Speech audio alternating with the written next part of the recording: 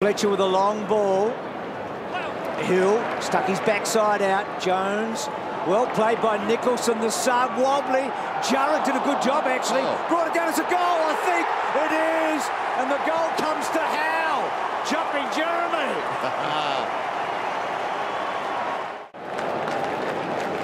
It's been so good in the forward 50, Melbourne. 11 inside 50s for six goals this quarter. So their ability to score from their forward flows. Great contest then by Jarrah.